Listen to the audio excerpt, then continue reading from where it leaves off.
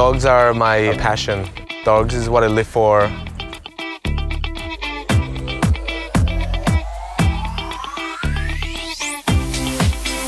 I'm Oscar Salazar. I am the owner of Pet Buddy Services. We do dog walking, training, boarding, and daycare. I was working very, very long hours. At that point, I have to make a decision send my dog away or give him the love that he has given me. So I decided to quit my job. The main challenge, especially in New York City, is trust. In order for us to gain the trust with the clients, we send pictures and email alerts, notifications to all the clients that were there. Everything keeps evolving.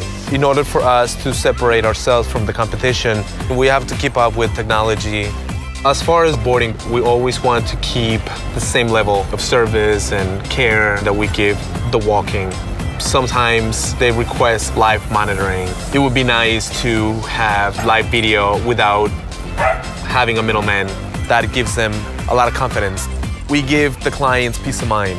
One of the challenges we have being a mobile business is having the phones on all day. The phone is our cubicle. We need to have the phone ready. We pray that the phones are charged throughout the day. Please don't, don't die on me. Please let me just work through the day.